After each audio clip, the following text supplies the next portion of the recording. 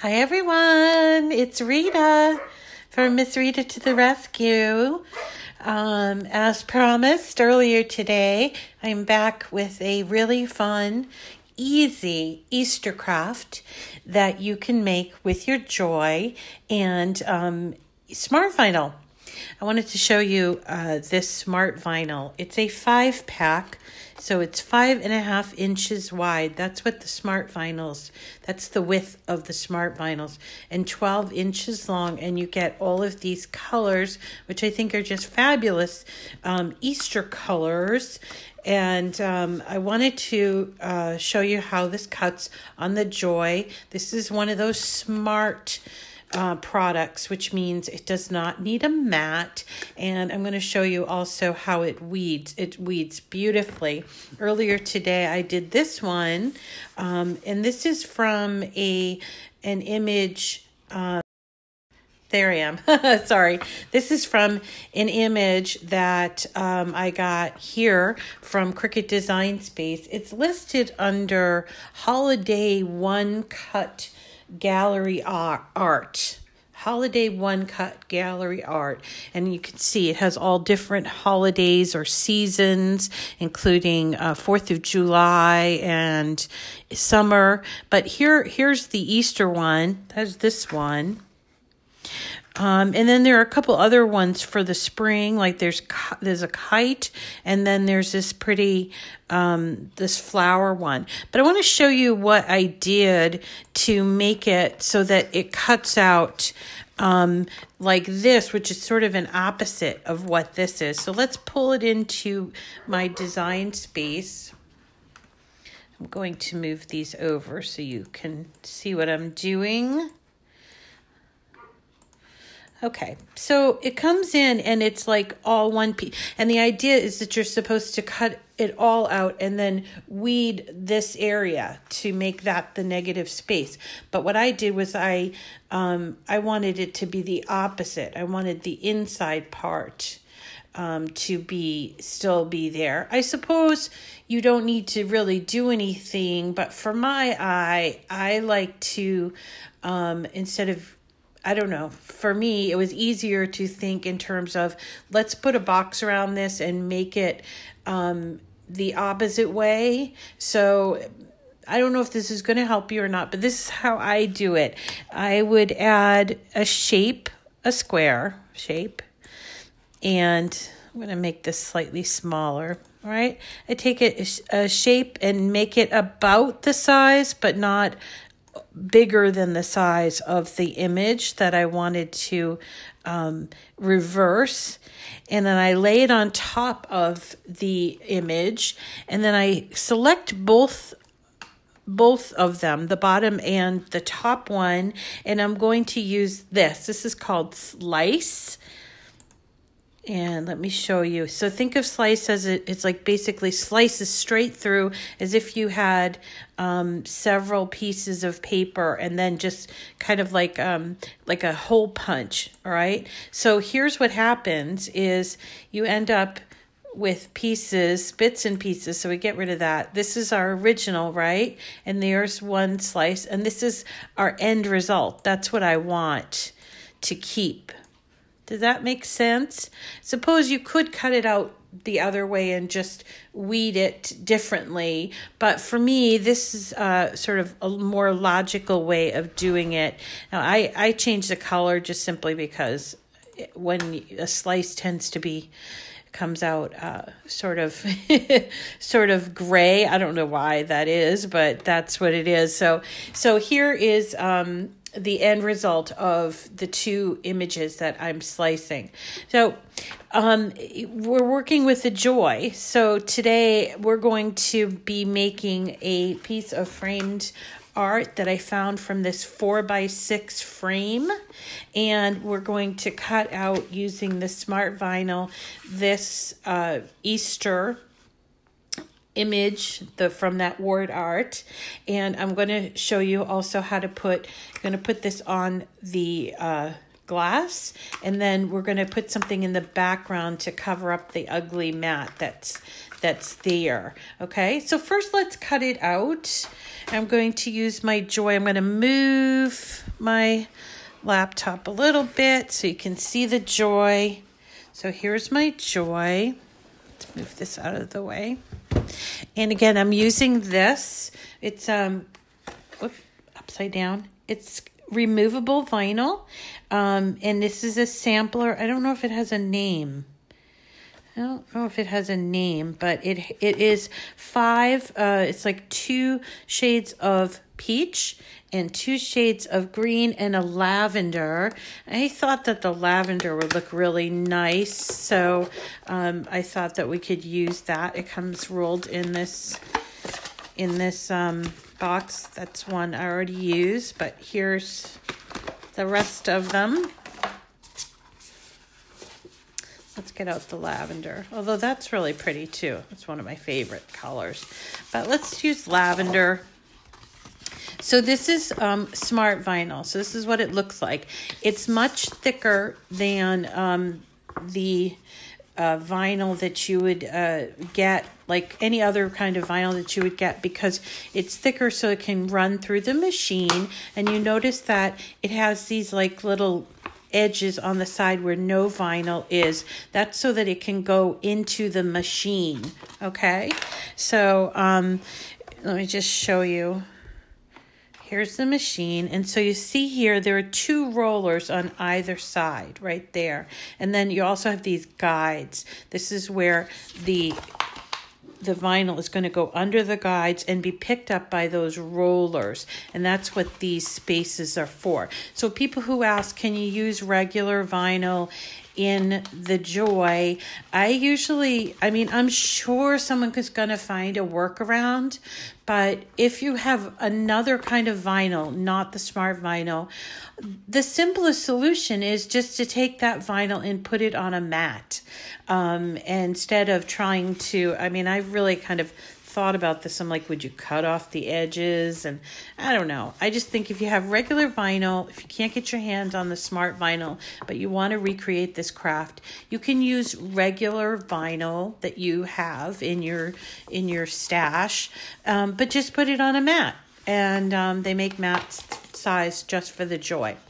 Okay, so I'm going to uh, get this going, and I just um, I'm not sure if you can actually see this, but what, when I am going to cut it, I have a choice. Do I want to do it without a mat, on a mat, or on a card mat? Let me go over here so you can see.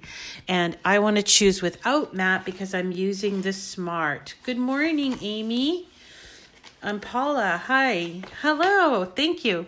Um, so, okay, I'm going to do uh, without the mat because without the mat is for the Cricut Smart materials. Okay, so we're going to choose that one and be done. And we we are in this process. We're reviewing the artwork, which there's nothing really to review or change or move here. I mean, you you could if you wanted to, but you really don't have to. So then we would just continue on, and then we choose um, the material. This is smart vinyl. Um, and you have a choice with smart vinyl. You have permanent, shimmer, and removable. So this is removable because it says so on the box. See, removable. So we're going to choose that one. And then we're going to go ahead and load the vinyl. Now I'm going to move back a little bit so you can see this part. All right.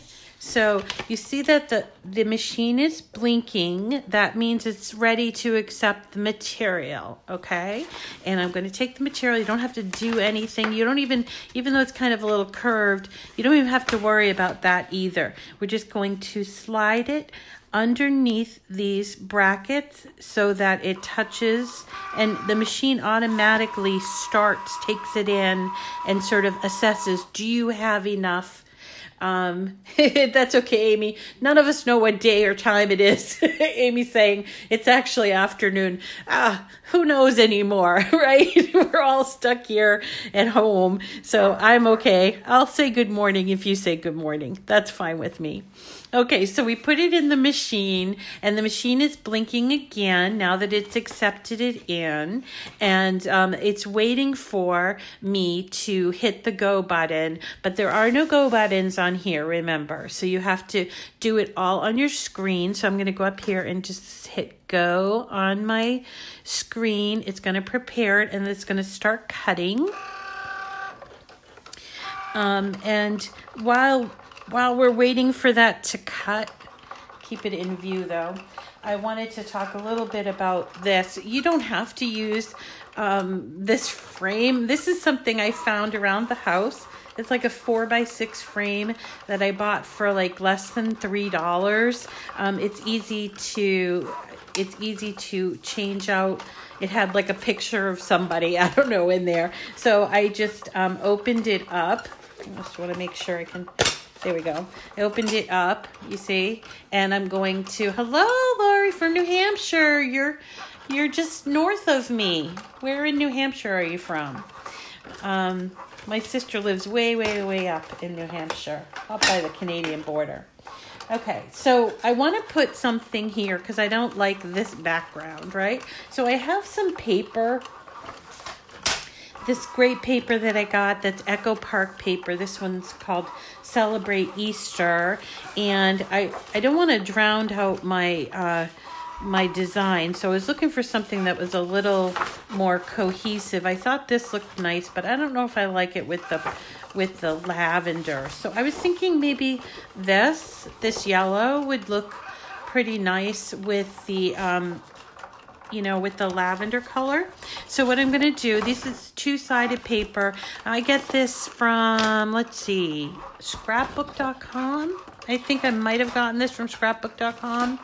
Um, and I'm going to use my cutter and I'm going to cut out a piece that's four by six uh, exactly because remember this is a um, this is this is a frame and the frame is very exact measurements. So let's see. Six.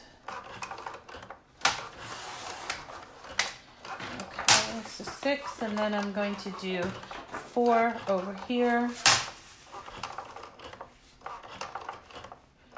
And if you if you felt like a little uncomfortable, you could maybe cut it ever so slightly less than the four by six so that you know that it would fit. Let's see if this one fits. We might have to cut it down a little tiny bit. And obviously this is dual-sided, so you could use that side. But I kind of like this just kind of a, more of a plain background. Right? So there we go. Seacoast. Oh, okay. Mount. My sister lives north of the White Mountains, up Dixville Notch area pretty crazy up there. the weather, it's got like its own, it's got its own weather system. It's kind of crazy. All right, so we did this and um, I put and I closed it up. And what we're going to do as soon as this comes out, it's done, we're going to weed it and um, then we'll put it on this transfer paper and then put it here onto the frame and then we're done. Then we have a really cute little piece of um, Easter art you know? And this is a really fun technique. I've done it with a couple of other things. Like we did a celtic knot knot and um, we did like st patrick's day colors and it was really pretty. We did it slightly larger um, with holographic sparkle vinyl but i thought let's break out the old joy and do this one. Um, and it's just such a cute image.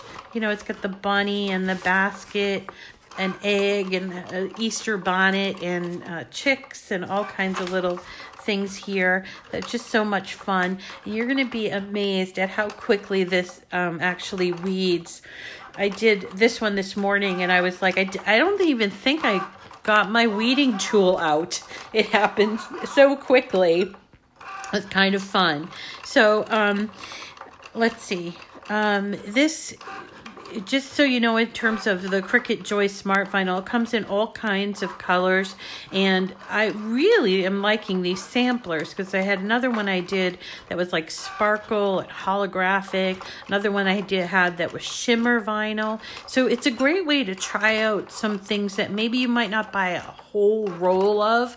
And I'll be really honest with you, peach is not my number one color. Like it's not a favorite of mine. So um, I probably would not have purchased this had it not had these other colors in it. And, and that's just kind of my preference. So it's a nice way to get like some different colors and you can try them out, you know, and they will tell, it does tell you on the side what the names of the colors are. So I suppose if later on you want to go buy just that one color, you can. The other thing too is that this is called removable um, and that just means that when you're removing it, it's not going to leave a residue behind.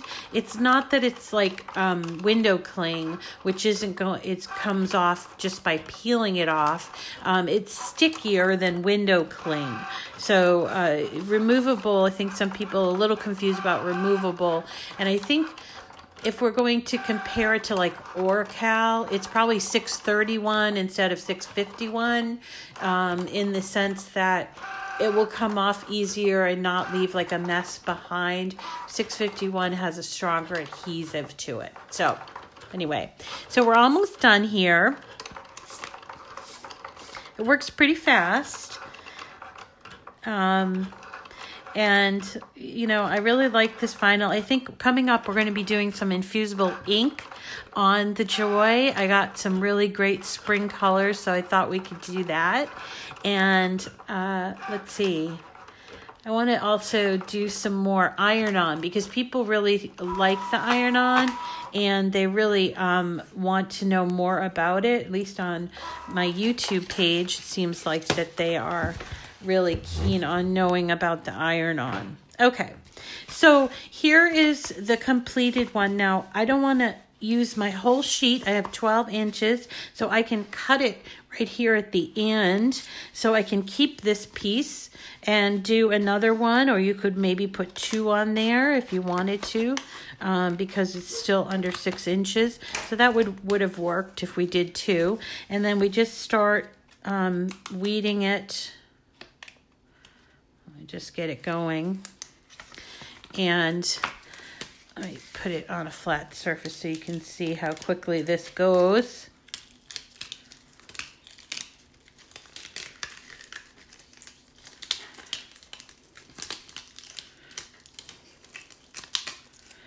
And I think, aside from right here, this might be all weeded. Isn't that amazing? Let me just double check get up close. Oh, no, I think we need to do this piece up here. See if there's anything else that need, no, seems like that's, that's completely weeded. Isn't that adorable? So, um, and here it is in the peach. Actually, this one's slightly bigger um, that I did in the peach. I made this one slightly smaller. I'm going to trim this up around the edges simply because we're working with that frame and we're going to stay within that framework of the frame um, for no other reason than that, okay? Okay, so then uh, we've got our our transfer paper and um, it does not have to be joy. Although joy does have transfer paper um, it does not have to be the joy transfer tape. So it whatever you happen to have that's fine. I'm going to cut it uh, so that it's about that size. You don't have to do that either but it's just sort of my thing. Okay? So and then I'm going to remove the transfer tape from the backing. it might need to, oh, there we go. There we go. Okay, I'm going to remove the transfer tape from the backing. And I'm going to apply it. I kind of roll it on because I don't like those bubbles that happen. So that's how I do it. Other people might do it slightly different, but that's how I do it. And I always take and burnish it um, just to get out any bubbles, but also to make sure that that tape is lifting up the image um, and then we're going to use it on the back here as well because we just want it all to lift. But the great thing is that if it doesn't lift, we can, we're going to do it slow enough that um, we know that everything is going to lift. This is how I do it. Um, I kind of roll it and make sure that it's all removing from that backing. And the backing is pretty thick, so this might be slightly different if you're used to doing this with another um, uh, kind of material, like not the smart material. It might be a slightly different kind of experience for you. So go slow you know just go slow even though it's a it's a quick project you know take a few extra seconds don't just kind of like rip it off and expect that everything is going to transfer over it doesn't always do that i'm going to get it a little closer to me because i can't see what i'm doing sorry that it's not all in camera for you i apologize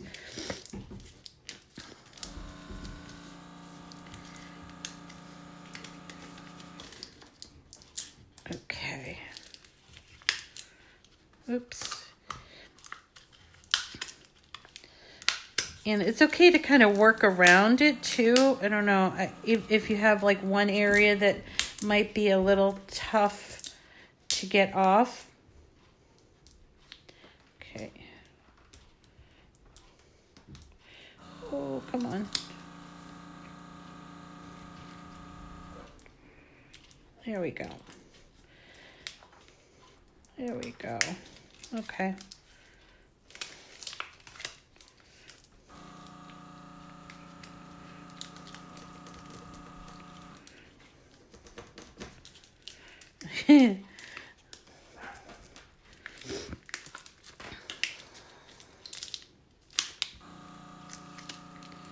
Sorry, this, I hear the noise of my uh, water bubbler. it sounds like it's going to start beeping in a second, which is so slightly annoying. Apologize for that. Okay. We've been drinking a lot of water over here. I was told that drinking water was important during this whole crisis. I don't know if that's truth or not, but anyway. All right. I'm missing a few of these dots, but for the sake of not using up too much of your time. Now, granted, you guys will do a better job than I will, okay? Um, but you'll make sure that all of those little tiny dots get added to your you know, left a little, a few dots here, but that's okay because I don't want to take up too much of your time. But so then we're going to take our transferred image and we're going to sort of line it up on the glass.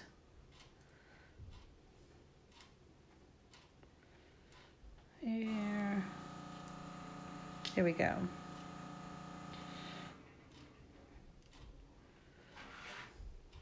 Okay, that's good. And then we just press it on here on the glass. Again, you're to do a better job than I am because you're not wondering if it's in camera and all of that stuff. Um, so I'm here to to just show you the technique and then you'll perfect it. That's what everybody always do, does. So once I push it on there, then I'm going to slowly remove the transfer tape. By the way, you can reuse the transfer tape if you're going to do more than one of these or you're doing I, I kind of stick it to the edge of my table so that I can get more than one use out of it because it's super sticky. If anybody's ever noticed that about the Cricut transfer tape, it's super sticky. All right. And almost. There we go. We're getting there.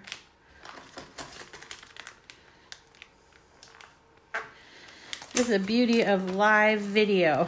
and there it is. Yay, we did it. Um, I maybe would, oh, let me make sure that I, I maybe probably would put a thicker piece of something in the back because I noticed that it's a little loose. So I might go back and do that. But and and I also thought about maybe coloring the frame a little bit.